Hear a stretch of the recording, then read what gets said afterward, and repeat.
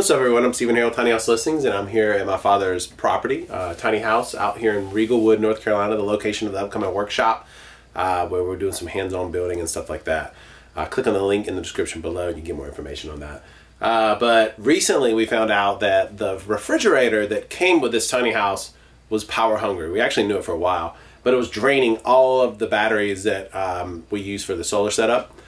And uh, so my father downsized to this much smaller 3.1 cubic feet uh, fridge made by Frigidaire. Nice little setup, and it's actually the, the most energy efficient one that we could find. It uses a little less than half of the power that the one before did. But to squeeze things even tighter, we recently bought this little gadget, uh, and it's a timer. So what's going to happen is in the middle of the night, or like roughly 10 o'clock, uh, this will turn the fridge off, and then it'll turn back on at whatever time we set. You can kind of, we'll get into here in a second, but uh, I thought I'd share this with you and uh, maybe it's something you can use for your off-grid setup. The way this little device works is it has little pins and whichever ones you press down, whenever it gets to that time, what'll happen is whatever's connected into this device will just turn off. So for example, my father's told me that he wants his fridge to turn off at 10 in the evening and cut back on at 6 a.m. So we'll push down all the pins between 10 p.m. and 6 a.m.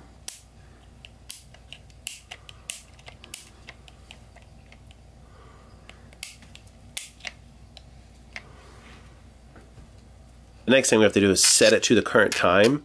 And to do that, you just turn the dial and set it to 3.15 p.m.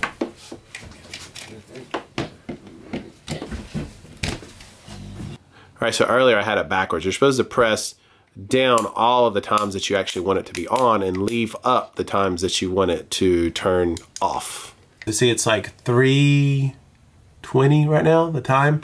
And so the fridge is on and we tested it earlier. Whenever you set it to a position, uh, you know, that you want it to turn off, it will, it'll automatically just turn it off. The way to make sure we hold plenty of cool in there is that my father's going to put a two liter or something roughly that size water bottle up here and have it remain frozen all the time. And then uh, in the middle of the night, there's less chance of everything cooling or getting warmed up.